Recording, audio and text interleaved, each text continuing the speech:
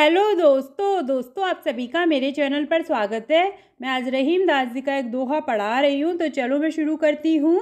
रहीमन रिस को छाड़ी के करो गरीबी बेस, मीठी बोलो न चलो, सभे तुम्हारो देश सबसे पहले शब्दार देख लीजिए। रिस का मतलब होता है क्रोध या गुस्सा, और छाड़ी के का मतलब होता है छोड़कर, ने मतलब नम्रतापूर्वक। और देश से मतलब यहाँ पर संसार से है। इस दोहे में रहीम दास जी ने हमें सादगी से रहने की सीख दी है। हमें हर तरह के शान शौकत से दूर रहना चाहिए और हमें नम्रतापूर्वक व्यवहार करना चाहिए। अब इस दोहे का पहले मैं आपको सरल अर्थ बताऊँगी और उसके बाद भावार्थ बताऊँगी। आप वीडियो को लास्ट तक देखिएगा तो पहले सरल अर्थ देख लीजिए।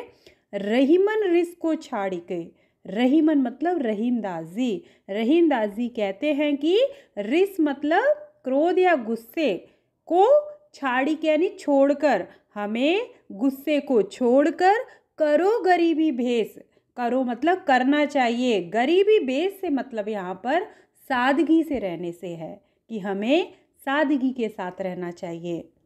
आगे देखिए, मीठी बोलो ने चलो। मीठी बोलो, यानी हमें सभी से मीठा मीठा बोलना चाहिए।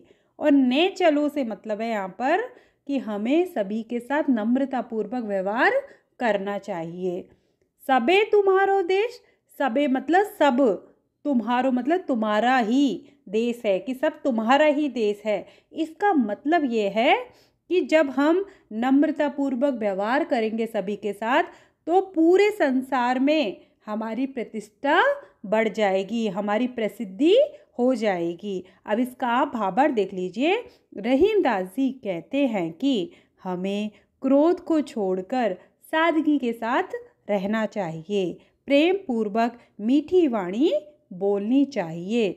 सभी के साथ नम्रतापूर्वक व्यवहार करना चाहिए, जिससे संपूर्ण संसार में हमारी प्रतिष्ठा बढ़ेगी।